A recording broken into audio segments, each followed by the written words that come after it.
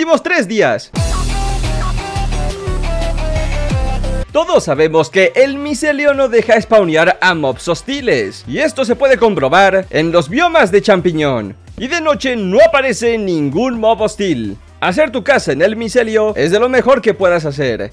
Pero ¿qué pasa si te digo que este mito es falso? Realmente sí pueden aparecer mobs hostiles. Y esto lo podemos comprobar en un mundo super plano. Si hacemos de noche, aparecerán decenas de mobs hostiles en el micelio. Pero ¿cómo es esto posible? Realmente el bloque de micelio sí deja spawnear mobs. Lo que no deja spawnear mobs es directamente este bioma. Y para que esto ocurra necesitamos el bioma en nuestro F3. Si nos vamos al apartado de bioma, dice que estoy en unas Mushroom Fields, en un bioma de las setas. Pero aquí entra algo súper curioso. Hablaremos de Minecraft Story Mode. Dígame aquí abajo en los comentarios si alguien de ustedes jugó Minecraft Story Mode.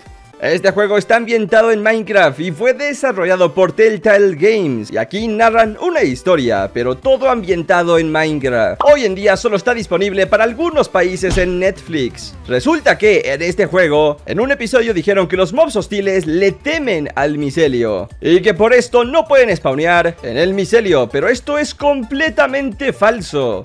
Los mobs hostiles no le temen al micelio, simplemente no pueden spawnear en el bioma de las setas. Esto es muy interesante porque el mismo Minecraft a veces se contradice, no todo es perfecto.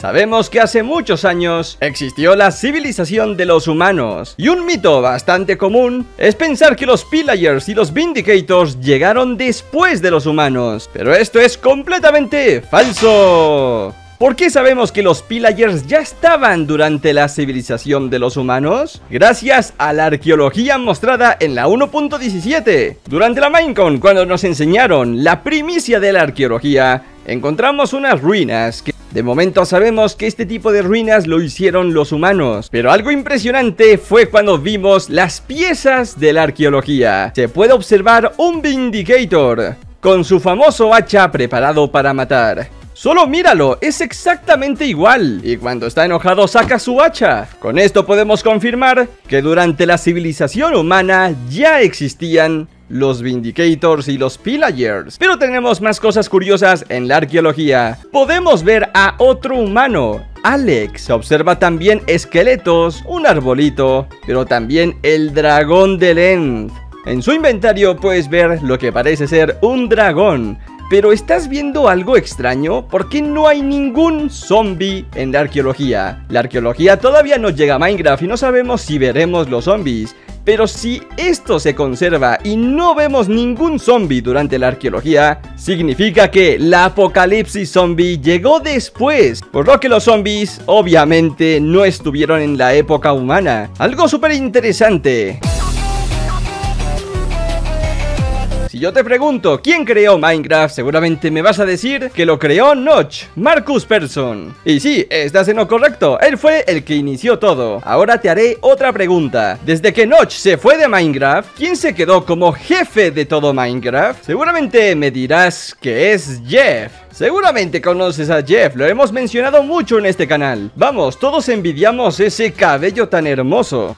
Pues esto es completamente falso. Actualmente Jeff no es el jefe de Minecraft. Te presento a Helen Chiang la actual directora de todo Minecraft. Sí, ella tiene el puesto más alto de todo Minecraft. Podemos verlo en la página oficial de Minecraft. En el puesto más alto tenemos a la jefa de Minecraft, llamada Helen Chiang. Y abajo, en el segundo puesto, tenemos al director ejecutivo Jonas Matterson. Y hasta en el tercer puesto como director creativo de diseño tenemos a James Bergenstein, es decir, a Jeff. Un mito que todos hemos creído hasta la fecha. Se cree que el tiempo es diferente en cada una de las dimensiones. Si estamos en la superficie, el reloj me dice que es de día, porque ahí está el sol. Pero ¿qué sucede con el reloj en el Nether? Veamos, ahora mismo es de día en la superficie, entramos al Nether y puedes ver que el tiempo se vuelve loco. El reloj no te va a indicar absolutamente nada. Dice que es de día, que es de noche, que es de noche, que es de día, que de día, de noche, de día, noche. El reloj nos da a entender que en el Nether no existe un tiempo específico. Pero esto es completamente falso. La dimensión del Nether tiene exactamente el mismo tiempo que la superficie. Y esto se comprueba fácilmente con los aldeanos. Si hacemos time set day, es de día. Los aldeanos están tranquilos. Pero si yo pongo time set y hago de noche, podrás ver que los aldeanos ahora empezarán a dormir. Y esto también sucede en el end. Ahora mismo es de noche y los aldeanos están durmiendo. Si yo hago de día, los aldeanos ahora van a despertar. Súper curioso, ¿qué demonios se generó un Iron Golem?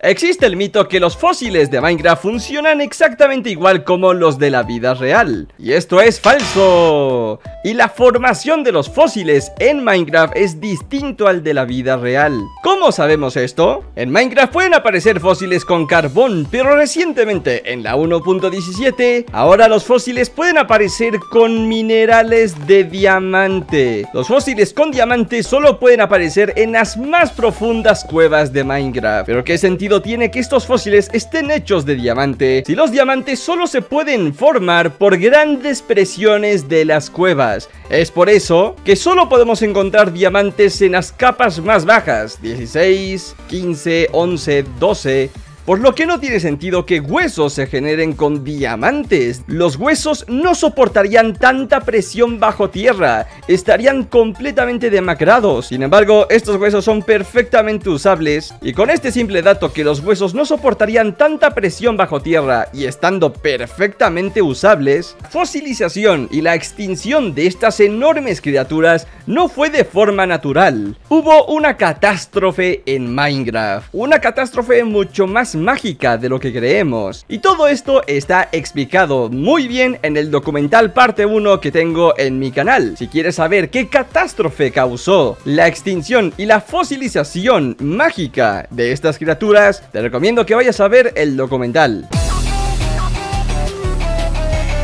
Se cree que la única forma para poder volar en Minecraft es con elitras y con fuegos artificiales, pero esto es falso. Si bien la forma más sencilla es utilizando unas elitras y los fuegos artificiales para planear correctamente y hacer turbos, no es la única manera, e incluso hay una manera mucho más profesional, complicada y muy pro, y esto es utilizando un arco. Solo necesitas un arco con infinidad y retroceso 2. Necesitas lanzar una flecha y que te caiga. Tener esta habilidad es sumamente complicado. Incluso puedes saltar profesionalmente con este arco. No es fácil de controlar, pero incluso quien te ve haciéndolo bien te tendrá respeto por lo súper duro que es de dominar. Además que ahorras costos al tener un arco con infinidad y una flecha. Los fuegos artificiales ocupan toneladas de papel y de pólvora. Dime aquí abajo en los comentarios si a ti te sale este truco. Seguramente sabes que podemos quemar ciertos materiales para poder usarlos de combustible. Obviamente podemos usar el carbón para poder quemar cositas, o también el carbón vegetal, el bloque de carbón, cualquier cosa relacionada a la madera como por ejemplo bloques de madera, herramientas, palitos, trapdoor. También ciertas plantas pueden ser usados como combustible, como el bambú, el alga, también los saplings, y de los mejores tenemos por ejemplo la lava o la blaze rod. Existe un mito que no podemos usar bloques de combustible, pero esto es falso. ¿Qué pasa si te digo que podemos usar bloques musicales para cocinar materiales? ¿Qué demonios? No solo este tipo de cosas lógicas se pueden usar como combustible, también un fucking bloque musical. Y eso no es todo. Podemos usar sensores de día y noche. ¿Qué es esto? Es algo super cursed, pero sí se puede. Y no solo eso, también los tocadiscos. Si lo piensas bien, estás usando combustible de diamante. El tocadiscos sí utiliza madera y por eso es lógico que se queme, pero estamos literalmente usando diamantes de combustible.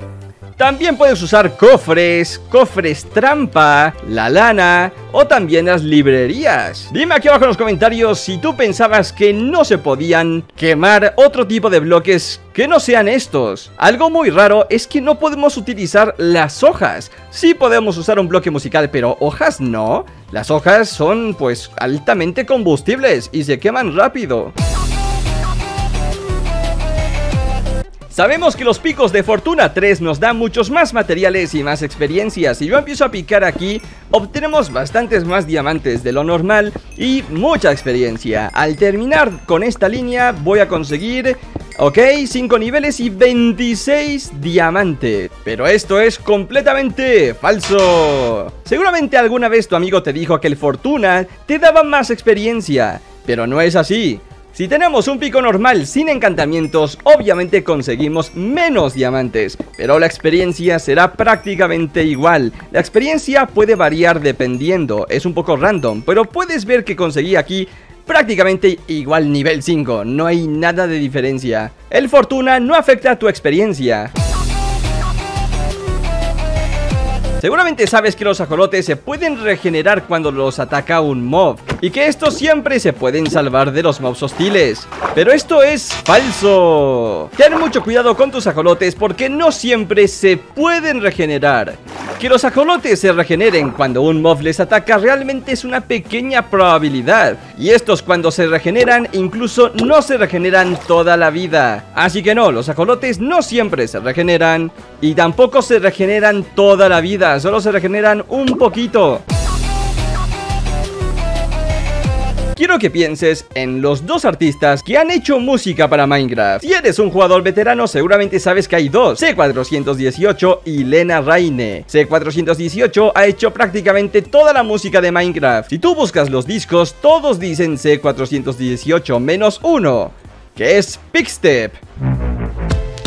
Pixtep está hecho por Lena Raine, pero no son los únicos que han implementado música al juego. Realmente uno de los primeros artistas en añadir música al juego fue el mismísimo Notch. Hace mucho tiempo Notch añadió un audio a Minecraft llamado Calm 4. Se desconoce mucho de esta música, pero técnicamente podemos decir que también Notch ha implementado música en el juego. Y no solo C418 o Lena Raine. Espero que les haya gustado muchísimo este video. Es bien importante que te suscribas ya que YouTube te recomendó este video. Suscríbanse para más contenido y regálenme su generoso like. Hasta luego, adiós. Saludos lobos omnipotentes. Veis el 45, Christopher, Tempest, Trolaje Jesús, Valentín, Sandra y Spinella Chan.